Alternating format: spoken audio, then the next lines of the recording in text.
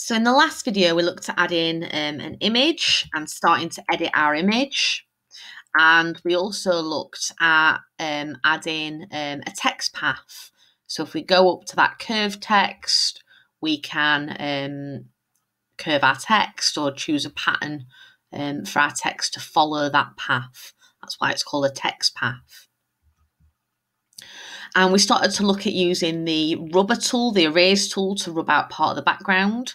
But the easiest thing is this cutout studio. Um, and if I just make my brush a little bit bigger, oh, too big. Um, if I select my background, what it does is it's gripping to those edges. So it just helps me uh, rub things out a lot easier. Um, and then if I press OK now, it just helps me rub it out a lot quicker. And what I can actually do is go back into it. I can change my brush size again, this time maybe making it really small, and I can just get those details. Um, and I can just play with it a little bit just to get it really quite accurate and then press OK. So the Cutout Studio is a quick way of deleting parts of your background using the red cutout discard brush. The green brush would be if I deleted something and then I decided that I wanted it back.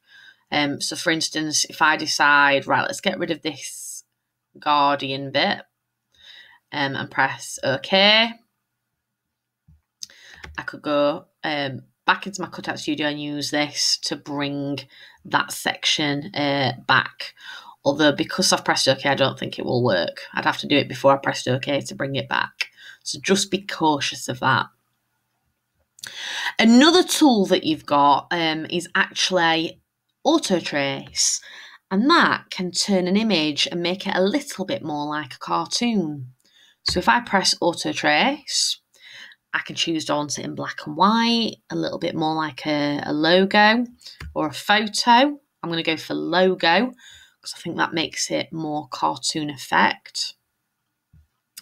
I've got all these options at the side that I can play with. I can choose how smooth I want it to be, how um, close to my edges I want it to be. So I can mess with all these little options. When I'm ready, I can just press trace and give it a moment and it starts to change that image. Um, I'm not a fan of that one, so I can either reset it, I can go back, I could change my options again, I can retrace it. When I'm ready and I'm happy, I just press accept or I can press cancel and then just discard my changes. I'm going to go back into it again. Uh, let's keep it default settings this time rather than me changing any of the settings. Let's see if I prefer that. Mm, I quite like the dog. I'm not a big fan of my cat. I'm going to accept it and then let's ungroup it. And what I'm going to do this time is I'm going to use my mouse just to select part of my cat and I'm just going to then press delete. And I can start to delete part of my cat.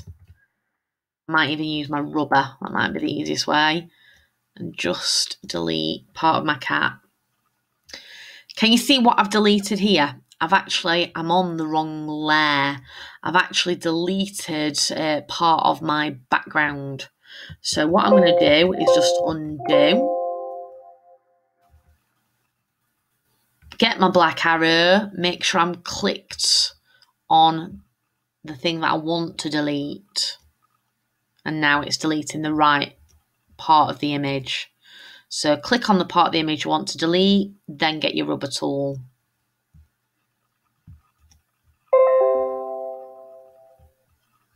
And this time I only want to delete that part. And finally, I just need to get rid of that little bit on the spine.